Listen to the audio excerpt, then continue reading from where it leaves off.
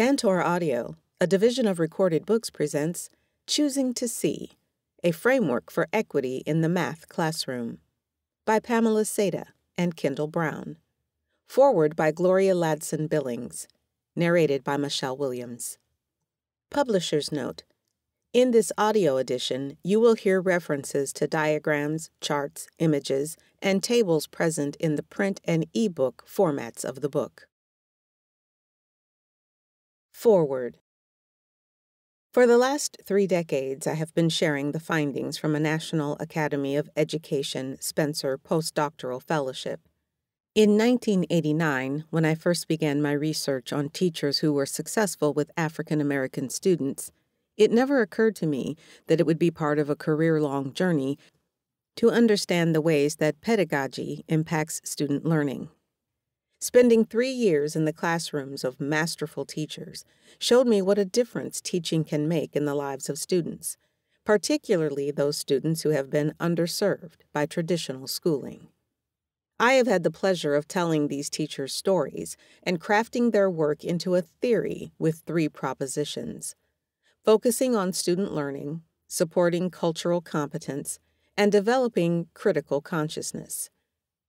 This work has taken me around the world Umeå, Sweden, London, England, Edinburgh, Scotland, Melbourne, Australia, Belo Horizonte, Brazil, Bloemfontein, South Africa, Beijing, China, Tokyo, Japan, and across the United States. Despite this work being warmly received by teachers, administrators, teacher education students, graduate students, and community members, one group of people has remained skeptical of the message of culturally relevant pedagogy, those teaching in STEM, science, technology, engineering, and mathematics fields. Despite having some of the poorest outcomes for BIPOC, Black, Indigenous, and people of color students, many in these fields insist that culture does not play a role in their discipline and culturally relevant pedagogy does not apply to them. This volume Choosing to See, a framework for equity in the math classroom, is an important corrective to the myth that mathematics is abstract and therefore not influenced by culture. Something as simple as how we count has a cultural component. Many years ago, while participating in a workshop at the National Academy of Science, while working on the first iteration of the report, How People Learn Brain, Mind, Experience, and School, we heard from a colleague who studied how young Chinese students learned mathematics, specifically counting. One of the eye opening statements was that the Mandarin language has no equivalent to the words 11 and 12. In their language, 11 is actually said as 10 plus 1, and 12 as 10 plus 2. Interesting, mathematics, as it is taught in U.S. schools, is dependent on a base of 10. But we have this odd 11 and 12 linguistic construction. This is not just mathematics, it is mathematics in a cultural context. In my study, I was struck by the sixth grade teacher who decided to forego the district mandated curriculum and scrounged for Algebra 1 books so she could accelerate the teaching and learning for a class of African American students who would likely be discouraged from pursuing algebra when they got to eighth grade the teacher decided to embed the teaching of algebra in deeply cultural contexts and demonstrated most of the principles highlighted in this volume, including others as experts, being critically conscious, understanding her students, crafting a culturally relevant curriculum, assessing, activating, and building on students' prior knowledge, releasing and sharing control with students and families and demanding and expecting more. Later in this journey, I heard from mathematics educator Dr. Lee Stiff about how he designed an Algebra 1 course for students struggling in general math. Again, Stiff used the principles that are outlined in this volume. His attitude toward the work was nothing we do can hurt these kids, because the quality of the general mathematics curriculum was so poor that mastering one or two Algebra 1 concepts was more valuable than a year's worth of addition, subtraction, multiplication, and division of whole numbers and fractions. This volume asks mathematics teachers to teach ambitious mathematics in cultural contexts that students understand and appreciate. It does not ask teachers to compromise the mathematics, but it also does not ask teachers to prioritize the mathematics above the student's interest and well being. This work goes beyond Carol Dweck's notion of a growth mindset or Angela Duckworth's concept of grit. Instead, Choosing to See places responsibility on teachers to learn much more about students as they approach teaching mathematics. Instead of assuming that mathematics is culture neutral, teachers must begin to interrogate how the mathematics curriculum fails to take into account students' backgrounds, cultural contexts, and experiences. Dr. Jamaal Sharif Matthews of the University of Michigan conducted a National Science Foundation sponsored project to look at the relationship between teachers' math applications to students' everyday experience and adolescent cognitive flexibility. This work indicates that when students can see how mathematics applies to the world they recognize and understand, they perform better in mathematics. Again, Dr. Matthews demonstrates that the principles being espoused here in Choosing to See are important for ensuring all students experience mathematics success. It is exciting to see mathematics educators move away from notions that only certain students will be proficient in mathematics to Robert Moses's idea of mathematics as a civil right. The world our students are entering is increasingly complex and mathematized. Students require more than a rudimentary knowledge of mathematics to have economic and social success in a highly technological, globally interconnected world. The demands of a complex democracy require students who can make sense of a scientific and technology laden world. Choosing to See, a framework for equity in the math classroom, is the volume today's teachers will need to help students navigate that world. Gloria Ladson Billings, University of Wisconsin Madison, September 2020. Preface Why We've Written This Book Pam's Story.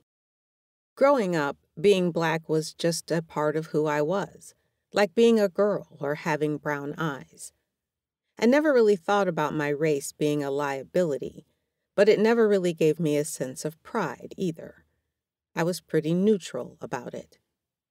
However, that changed when I got to college. Even though Georgia Tech was where I was called the N word by a white person for the first time in my life, it was also the place where I first felt such a sense of pride in being African American and the need to advocate for the success of African American students collectively in an institution where there were so few of us. I felt this pride when we elected our first black homecoming queen and had our first black cheerleader. That pride continued as we strategized how we would elect a record number of black students to student council positions. I understood and experienced black excellence and the power of working together to make a difference in our school, and I felt the same sense of pride in our collective efficacy. During my first years of teaching, I taught math in a high school that was pretty evenly divided between black and white students. However, the teaching staff was predominantly white. I recall times when African American students, whom I had never taught, would try to connect with me on a personal level by approaching me in the cafeteria or the hall just to say hi, to compliment me on my outfit, or to congratulate me on my pregnancy. I don't remember this ever happening with white students at the school. It was then that I began to realize I was a role model for many of the black students and that my presence gave them a sense of who they could be. I also began to understand that my presence as a young African American woman in that school challenged the negative stereotypes about who is good at math. I am an African American woman who is passionate about changing the negative experiences of students who have not previously experienced mathematical success. Success, to me, is not simply passing a class, but rather being able to use mathematics as a tool to reason, analyze, communicate, and open doors of opportunity. Too often, mathematics has been taught in a manner where students cease to think on their own, instead, memorizing meaningless routines and procedures just to get by. Rather than mathematics leading to opportunity, mathematical failure often results in lack of self esteem, frustration, heartache, and shattered dreams for furthering education. For me, the mathematics classroom was a place where I took great delight in making connections, reasoning, and analyzing mathematical ideas in an environment where I was valued, esteemed, and confident. In other words, I not only felt smart in class, I was constantly told as much by my teachers, classmates, and friends. It did not take me very long, however, to realize that many people did not share this experience and that for them, mathematics class meant confusion, failure, self doubt, and feeling like a dummy. I became a teacher because I wanted my students to experience mathematics the way I did, as something positive and empowering. I have written this book because I want more teachers to have positive and empowering mathematics classrooms for their students from marginalized groups. Kyndall's story. I am a descendant of Africans who were enslaved in America. My parents were born into segregated Alabama in the 1930s.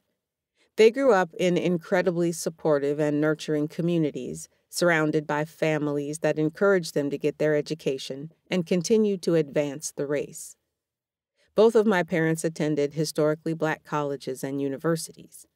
My father studied education at Alabama State University. His diploma says Alabama State College for Negroes.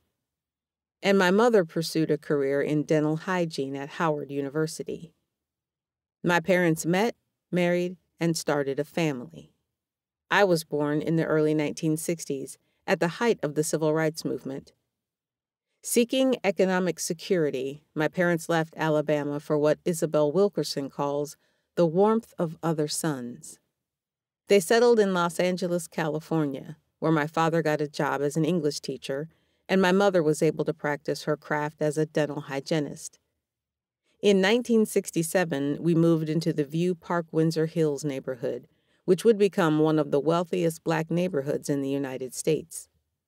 I grew up in an environment of single family homes with two parent families, where the majority of adults were college educated professionals, civil service employees, and small and large business owners.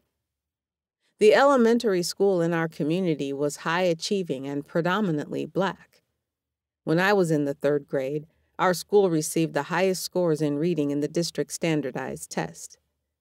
This achievement led to features about our school in the local newspaper and on the local television stations.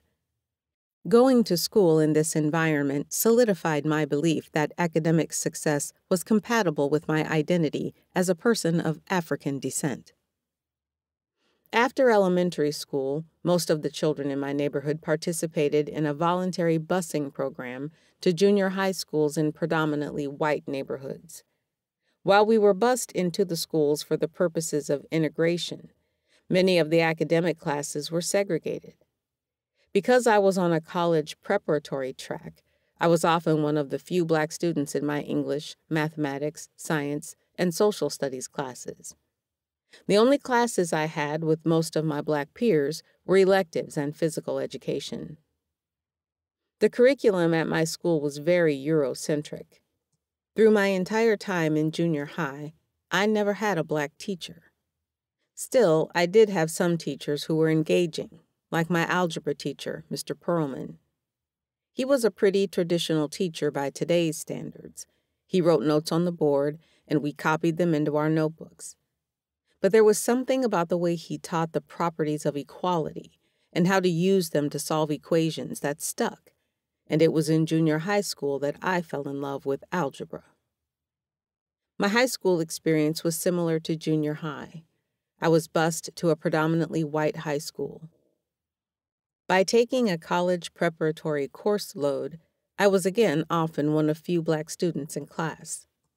One noteworthy difference, though, was that I had my first black mathematics teacher, Mrs. Garner. She taught Algebra 2, and we lived in the same neighborhood. She recognized my potential and nurtured me. This contrasted sharply with an experience I had my senior year in my trigonometry and math analysis class, where I had a white female teacher who put B's and W's in her roll book to identify the race of her students. I ended up attending college at the University of California, Irvine, where I majored in mathematics. Once again, I was one of the few black students in most of my classes, and I survived by finding groups to study and do homework with. After graduation, I began my teaching career in South Los Angeles during the height of the gang and drug crisis. I found that, although many of my students came from impoverished backgrounds, they had a lot of problem solving skills. In those early days, I realized that even though I had a degree in mathematics, I still had a lot to learn about how to be an effective teacher. I sought out professional learning opportunities wherever I could and enrolled in a teacher credentialing program, and I have continued throughout my career to pursue educational opportunities to improve my craft. Along the way, I have gotten involved with teacher education and professional development. And because of my background and experiences, I have always been committed to ensuring Black students have opportunities to receive high quality mathematics instruction and access to college preparatory mathematics classes. My hope for this book is that it will be a tool for teachers of students of color in general, and students of African descent in particular that will help them recognize their students' potential to be powerful mathematical thinkers. Introduction What is at stake? Mathematics has the power to shatter students' dreams in a number of ways. Students are assessed in mathematics in some states as early as kindergarten. Standardized test scores are used to label and sort students in ways that impact the types of learning experiences they receive, whether they receive remediation versus enrichment, for example. These labels often follow children into higher grades, limiting their access to high quality mathematics instruction. In high school, mathematics plays a role in whether students meet their graduation requirements, with most schools stipulating two or four years of math classes. The mathematics courses schools offer determine whether or not students will meet college entrance requirements. Similarly, at the college level, a large number of students test into remedial mathematics courses where they get stuck and are never able to realize their goal of obtaining a college degree. Most of the top jobs for the future require students to have a strong foundational understanding of mathematics. For example, solar energy technician, software developer, data analyst. Our failure to mathematically educate most students in general, and students of color in particular, is bad, not only for these students individually, but also for our society.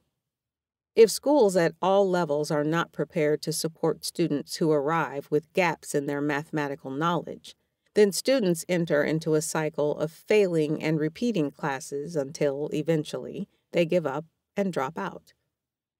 Though most school mission statements have some variation of all or every or each student, math data for the past 30 years have clearly shown that we are missing the mark for so many. If we truly value all of our students, we must figure out how to make sure our actions align with our values. An equity framework can serve as a lens for helping us see where we are achieving this alignment and where we are not. ICUCARE Equity Framework One day after Pam had finished leading a workshop on the equity framework she created, one of the participants said, This is really great stuff but you need to come up with a mnemonic device to help us remember the principles. That conversation sparked the ICUCARE, pronounced I See You Care, framework we will explore in this book. There are seven principles in our equity framework. Include others as experts, be critically conscious, understand your students, use culturally relevant curricula, assess, activate, and build on prior knowledge, release control, expect more. I See You Care is about choosing to see and caring enough about what you see to act. It means accepting that every one of your students can be an expert given the opportunity. It means recognizing negative stereotypes about marginalized students and understanding their effects. It means knowing that your students have rich lives outside of the classroom that can inform what you do inside the classroom. It means embracing that doers of mathematics come in all ethnicities, genders, and races. It means appreciating the wealth of knowledge that students bring with them to any given topic. It means viewing your students as co laborers in the process of teaching and learning. And it means valuing students in terms of their strengths, capabilities, and talents. There are many reasons teachers choose not to truly see their students in all of their humanity and to ignore how prevalent inequity is in our educational system. Like we did early in our teaching careers, many teachers find it easier not to see than to acknowledge their own failures as educators. It was easier for us to see students' lack of motivation, their failure to turn in assignments, their refusal to follow instructions, and their lack of parental support. For Pam, it wasn't until she saw data that showed the black males in her remedial math classes scored significantly higher on the national normed test than the white students in the same class that she started to see the school structures, including her own, that were also operating on students. And once she began to see, she sought to find answers in a doctoral program focused on issues of race, class, and gender in mathematics education. True seeing must always precede doing.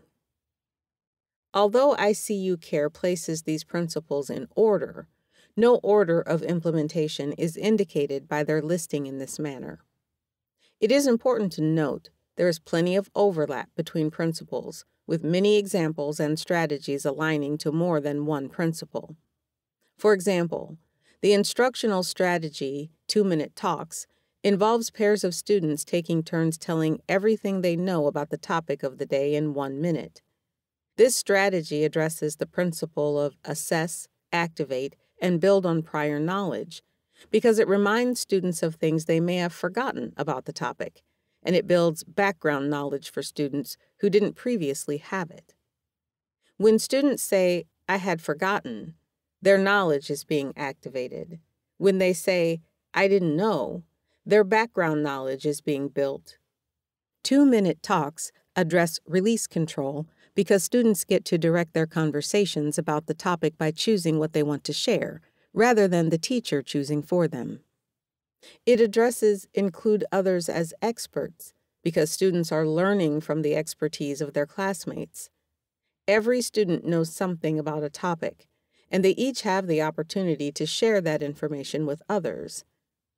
It also addresses expect more because it begins with the premise that all students have some prior knowledge, and it doesn't allow low achieving students to opt out. Because every student must talk for at least one minute, no one is let off the hook for engaging with the topic. Color blindness and inequitable teaching practices. These principles also overlap in other ways. Teachers who ascribe to a colorblind ideology are not critically conscious. In addition, their ability to understand their students well is hindered because they choose to see their students only as individuals and not as part of a larger cultural group. Therefore, they are cut off from a wealth of cultural knowledge about their students that could be used to communicate mathematical concepts and provide the scaffolding necessary for learning. When teachers fail to build on prior knowledge, their students often begin to experience academic failure. Faced with poor performance from their diverse learners, these teachers then begin to develop deficit views of them. Teachers with cultural backgrounds different from their students, who fail to ascertain and value the knowledge and skills their students bring with them, must resort to making assumptions, which are often based on stereotypes and misinformation. Therefore, when their students perform poorly, teachers tend to blame the individual, citing issues such as laziness, low motivation, or lack of support at home, rather than implicate their own lack of pedagogical knowledge. The following diagram illustrates how these principles overlap and impact each other. Communicating this framework to students. It is important that teachers who desire to implement these principles in their classrooms share this framework with their students.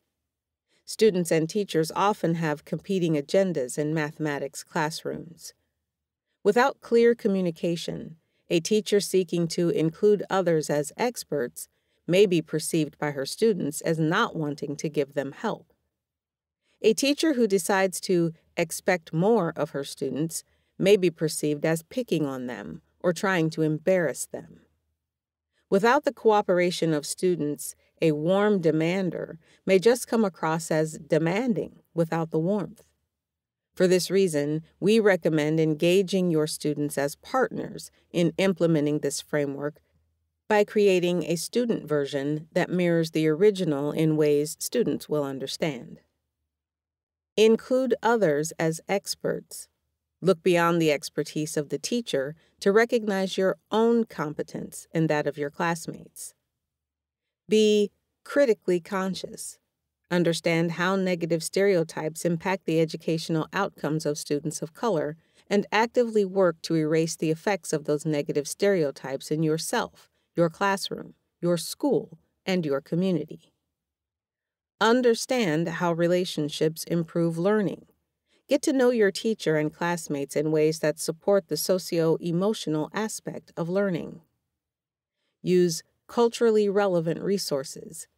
Seek out resources that help you see yourself as a doer of mathematics and help you overcome the negative stereotypes and messages about who is mathematically smart.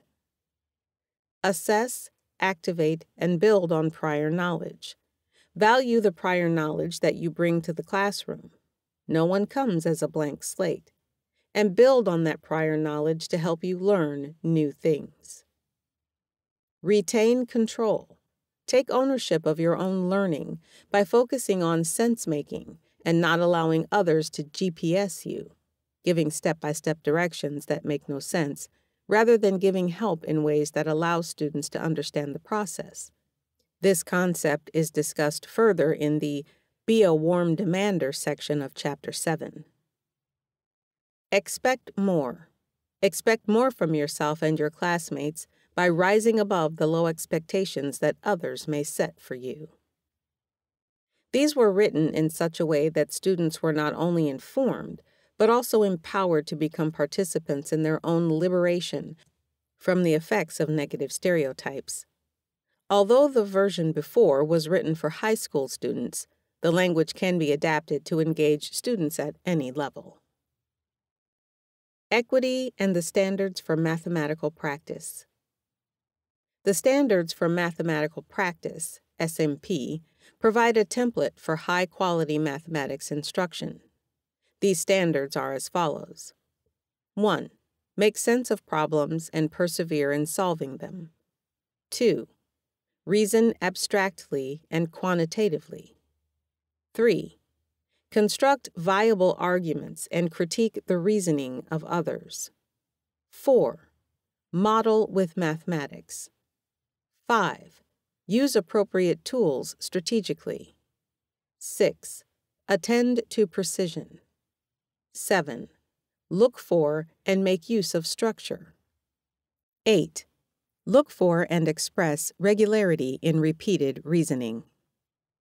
The Common Core standards describe the SMP as the expertise that teachers should develop in their students.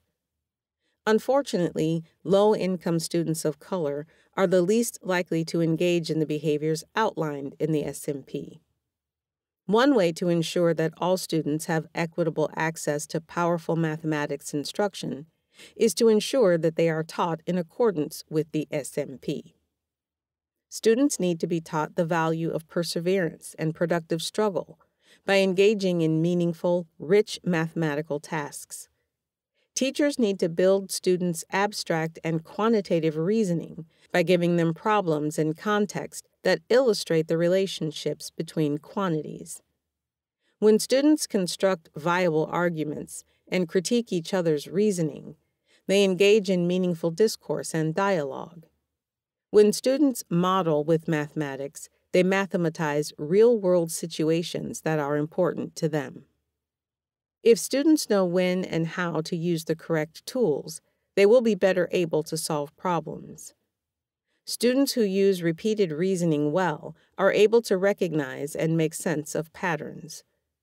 When students use precision in their calculations and language, they are better able to find and correct mistakes and explain their thinking. When students make use of structure, they are able to generalize patterns that can be applied to new situations. Culturally relevant teaching is compatible with the SMP if teachers use tasks with contexts that come from the lived experiences of their students. Perpetuation of inequity along racial lines. Everyone knows that inequity exists, but not everyone is willing to acknowledge it. Those who fail to be critically conscious or choose not to engage in culturally relevant teaching practices will continue to perpetuate inequity across racial and socioeconomic lines, whether it be consciously or unconsciously. Since teachers tend to teach in the same ways they were taught, a perpetuation of traditional mathematics teaching practices is inevitable unless a conscious effort is made to change. Playing the blame game often feels safer than becoming self reflective about the roles we play in reproducing inequity in society. We are no exception.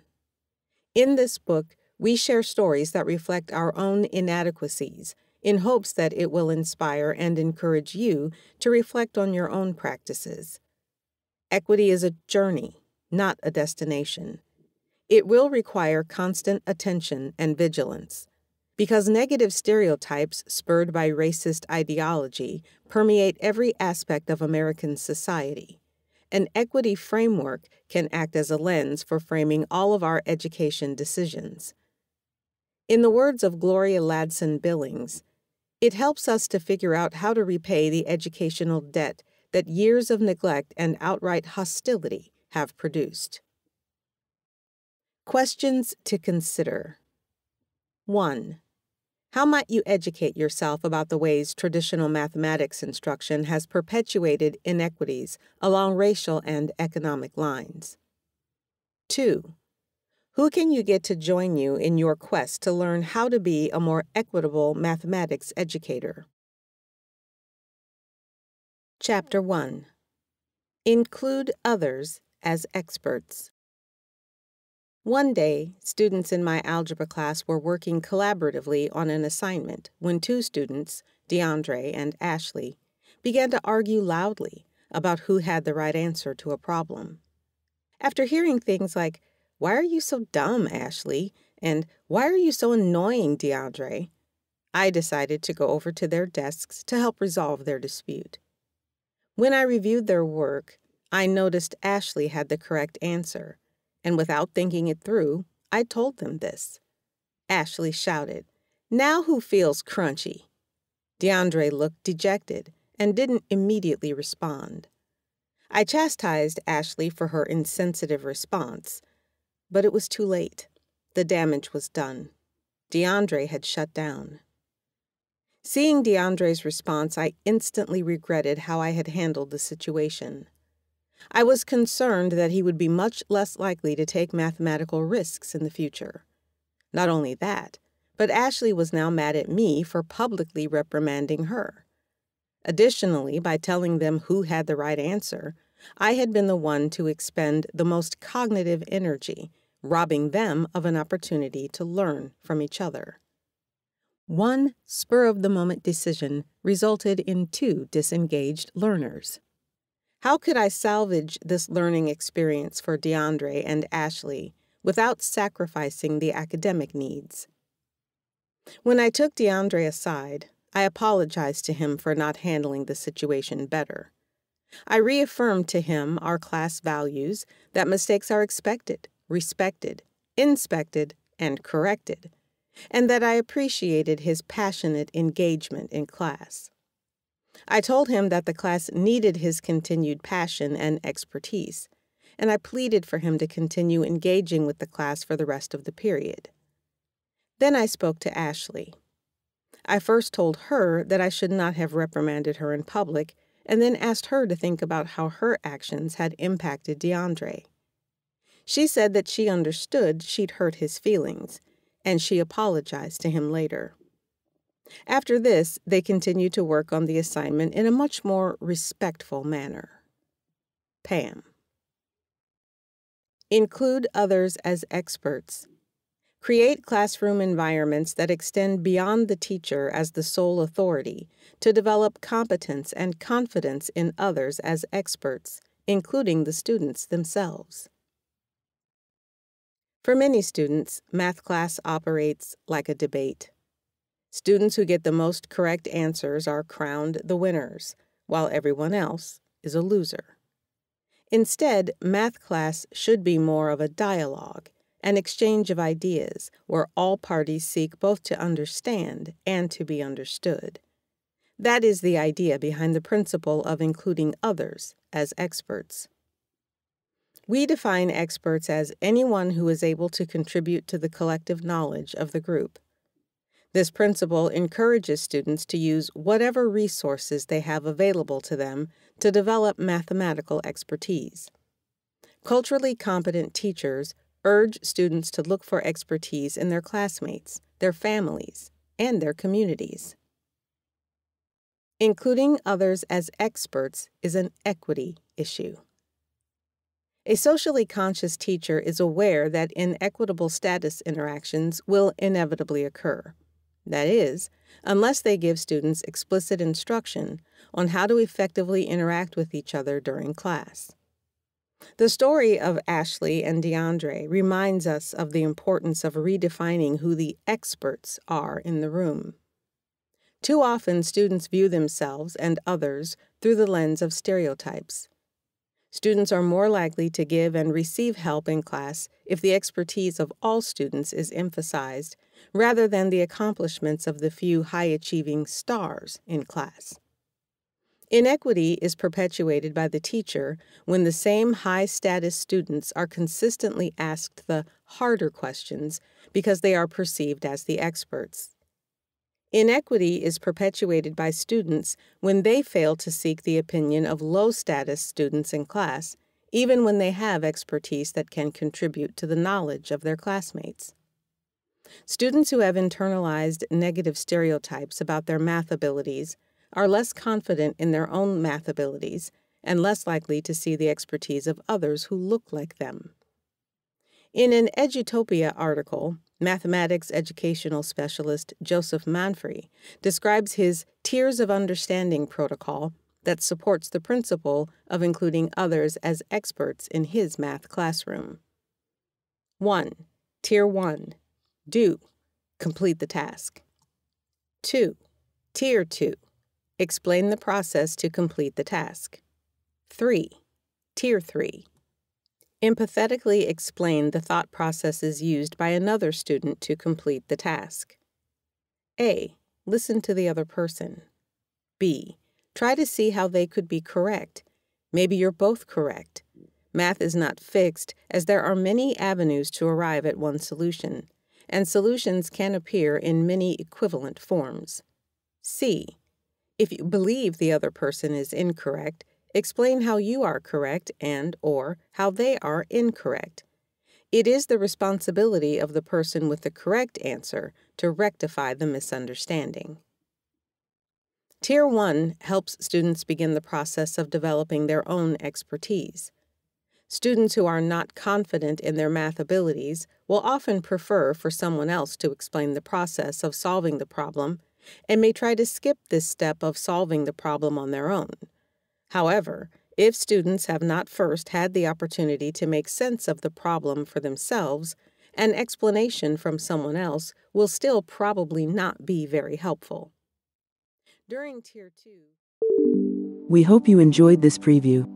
To continue listening to this audiobook on Google Play Books, use the link in the video description.